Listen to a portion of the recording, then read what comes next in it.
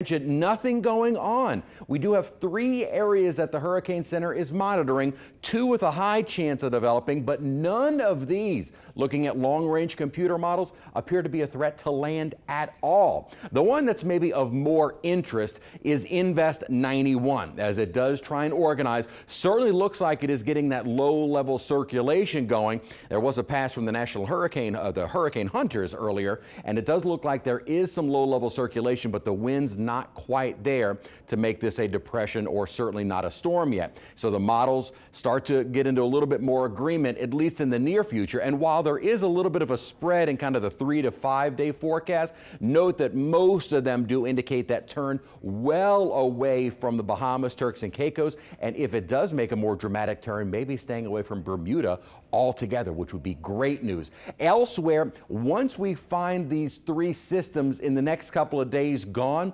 Note that the computer models as we get beyond the weekend and early next week really are not indicating anything else. Again, the reason for these dual colors is a comparison of the GFS and the Euro. And yeah, there is a little bit of a spread, but note, this is Invest uh, 93. Looks like it's going to remain fairly stationary. The area that we're watching 91, as it approaches the U.S., will likely turn before ever reaching it. And then really nothing happens to that little wave that is coming off of Africa right now, and nothing else developing toward the middle of next week. We may be starting September rather quiet. However, in September is still a very busy month. This is looking at all storms within 50 miles of New Orleans from September, October, and November. And we do get a fairly active part of the season. And we are still very much in the heart of hurricane season. But as I say, every day that nothing is going on is a good day.